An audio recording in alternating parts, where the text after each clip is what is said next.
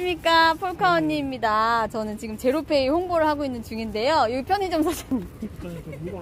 아 물건 왔어. 바빠 바빠. 아 진짜 편의점은 자동으로 제로페이가 돼 있으시다고 합니다. 근데 여기 대표님 네. 안녕하세요. 네, 안녕하세요. 누구십니까? 아, 저희는 여기 순대국집 하고 있고요. 네. 순대국 이름은 뭡니까? 할머니 네, 네. 순대?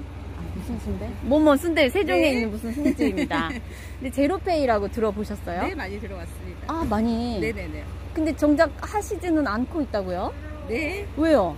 아, 이거는 사, 사용하시는 분도 많지 않고 네. 코로나 이후에 네. 직원이 없어요. 근데 계산도 한 사람이 일이거든요. 맞아. 네, 그런 시간이 걸리는. 네, 시간. 그리고 요즘은 더치페이 네. 네, 그런 게 많은데 계산이 아. 너무 다양하면 시간적으로도 힘들고 네, 복잡해지죠. 그리고 뭐 요즘은 세종페이도 많이들 쓰세요. 여민전. 예.